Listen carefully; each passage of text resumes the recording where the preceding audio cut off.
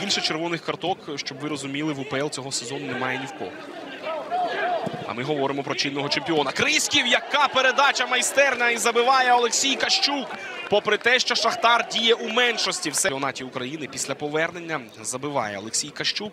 Він забив кривбасу минулого туру. Він відзначається зараз. Е, Пас Криськіва просто насолода для очей. Він усе оцінив, просунувся, віддав передачу за спину.